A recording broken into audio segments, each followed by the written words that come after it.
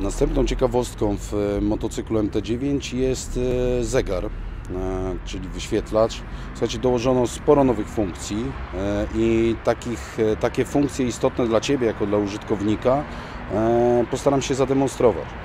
Jest tak, zegar ascetyczny, ale posiadający na wyświetlaczu wszystko to, co trzeba.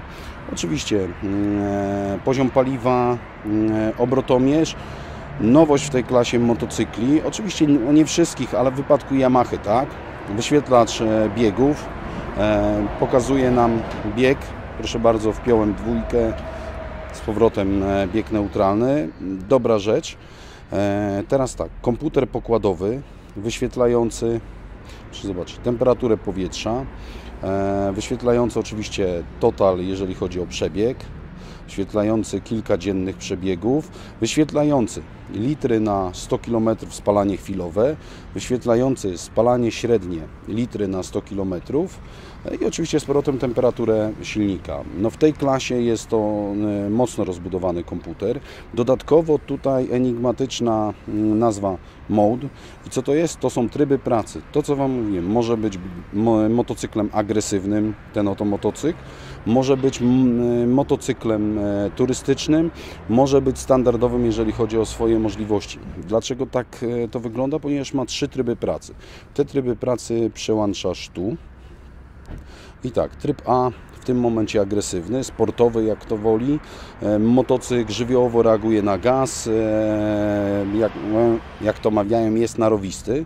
Następny tryb pracy B i to jest tryb turystyczny, tryb deszczowy, mm, po prostu tryb, w którym motocykl jest łagodny.